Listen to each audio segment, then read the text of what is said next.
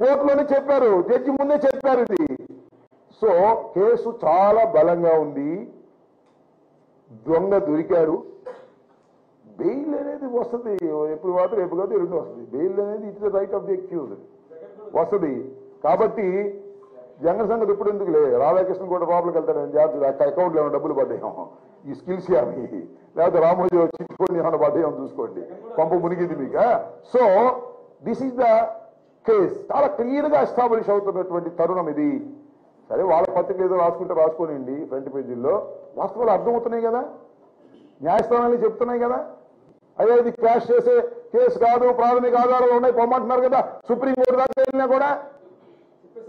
అర్థమవుతుంది చెప్పకపోతే నువ్వు నీకు చెప్పలేదేమో. చెబుతున్నారు కదా హైకోర్టులో చెప్పారు కదా సుప్రీంకోర్టులో పెండింగ్లో ఉంది అది కూడా వస్తుంది. ఏదో మాపో న్యాయ నిపుణులు మాకు ఉన్నారు కదా వాళ్ళు చెప్తారు కదా. So this a very very strong case ఈ కేసులో నేను చెప్పొచ్చేది ఏంటంటే ఈ ప్రభుత్వం ఆ ప్రభు ఏదైతే అవినీతికి పాల్పడినటువంటి ప్రభుత్వం ఉన్నదో ఆ ప్రభుత్వానికి మద్దతు పలికింది మొదటిగా పవన్ కళ్యాణ్ గారు అధికారంలో రావడం కోసం. ఆ తర్వాత ఇవాళ జైల్లోకి వెళ్తే మద్దతు పలికే మొదటి వ్యక్తి కూడా ఈయనే. అంటే ఈ హ్యాజ్ ఎ షేర్ అని అనుకోవాల్సి ఉంటుంది. ఆ అవినీతిలో పవన్ కళ్యాణ్ గారు కూడా భాగస్వాముడు అయి ఉంటాడేమో అనేటువంటి భావన అందరిలో కలుగుతున్నటువంటి తరుణం.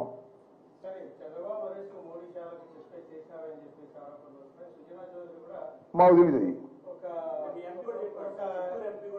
అన్నారా. మాకు తెలియదు నాకు తెలియదు నాకు ఆ సమాచారం లేదు. సార్ ఈ రోజు ఏడు గంటలకి లైట్లు ఆడుతున్న కార్యక్రమాన్ని తెలుగుదేశం ఎప్పుడు ఆరిపోయారుగా లైట్లు? ఇంకెందుకు ఇవాళ ఆరిపోతాం తెలుగుదేశం లైట్లు ఎప్పుడూ ఆరిపోయినాయి. వాళ్ళు అసలు రామ రామ ఎన్ని దీపాలు ఆరిపోయాయా చంద్రబాబు? ఇవాళ దీపాలు ఆరిపోవడం ఏంటి? ఎన్నో దీపాలు ఆర్పిన మహానుభావుడు చంద్రబాబు నాయుడు గారు. ఆయన లోపల వేస్తే లైట్లు ఆరుపుతారా? మీ లైట్లు ఎప్పుడూ ఆరిపోయి ఆరిపోతాయి. దానిలో ఏం అనుమానం లేదు. ఇంట్లో లైట్లు ఆడుతారండి ఎవరన్నా? నాకు అర్థం కాలేదు. కరెంటు సేవ్ చేయడం కోసం ఒకసారి ఉద్యమం జరిగింది ఆపారు. వీళ్ళంతా ఇంట్లో లైట్లు ఆడిపి కోత పెట్టుకుంటారంట. వెరైటీ నిరసనలు. నాకు అర్థం కాదు. చిత్తశుద్ధి లేని నిరసనలు. దొంగల కోసం చేసే నిరసనలు. అవినీతి పనుల కోసం చేసే నిరసనలు. లైట్లు ఆర్పటం అనేది వాళ్ళ ఆర్పుకోవడం తప్ప రెండోది లేదు. ఏంటండి? ఏ మద్దతు అంటావు చిత్తశుద్ధితో పవన్ కళ్యాణ్ గారు చిత్తశుద్ధితో ఇస్తున్నాడా అని అడుగుదా చెత్తశుద్ధితో ఇస్తున్నాడు. చిత్తశుద్ధి కాదు చెత్తశుద్ధి. అతనికి ఉన్నంత చెత్తశుద్ధే. చిత్తశుద్ధి లేదు. మద్దతు ఇవ్వటం నాకు అర్థం కాలేదు. జైలుకి వెళ్ళి మరీను. మద్దతు ఇస్తే అవగడ్లో మీటింగ్ పెడితే ఎంతమంది వచ్చారు? తడంలో మీటింగ్ పెడితే ఎంతమంది వచ్చారు? పూర్వ మీటింగ్కి ఈ మీటింగ్కి తాడా చూడండి ఏమిటి మద్దతు ఏమిటి నాకు అర్థం కాలేదు. భలే చెప్పాడు మాట మాత్రం నచ్చింది. బలహీన పడిపోయారు అంటాడు మరి ఈయన పెద్ద బలవంతుడు ఏమో నాకు అర్థం కాల. ఇద్దరు బలహీనులు. ఏం చేస్తారు? చూద్దాం. హైబ్రిడ్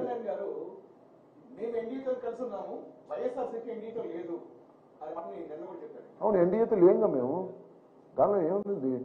వీఆర్ సింగిల్ ఎన్డీతో ఉన్నామని మేము ఇప్పుడు చెప్పామా?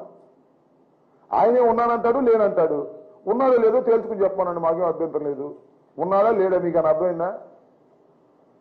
అతను ఎన్డీఏతో ఉన్నాడా? పవన్ కళ్యాణ్ లేడని ఒక మాట చెప్తాను గురువు గారు మీరేం అనుకోవద్దు. ఎన్డీఏతో ఉన్నప్పుడు హూఇస్ హీ ఈయనెవరు తెలుగుదేశానికి మద్దతు ఇవ్వడానికి? ఎన్డీఏతో మాట్లాడే కదా ఇవ్వాలి. అది కదా నైతికత పొలిటికల్ నైతికత. ఎన్డీఏతో ఉంటానంట ఎవరితో పడితే వాళ్ళతో తిరుగుతాడంట. అలవాటేగా? అందుకని. ఎన్డీఏతో ఉంటాడు ఏమండి? ఎన్డీఏ పర్మిషన్ తీసుకోవాలి number one number two NDA నుంచి బయటకు వచ్చి తీసుకోవాలి. నేను ఎన్డీఏతో ఉండటం లేదు. నేను బయటకు వచ్చాను. తెలుగుదేశంతో ఉంటాను. అని చెప్పు తప్పలేదు. ఎన్డీఏతో కొనసాగుతాడంట.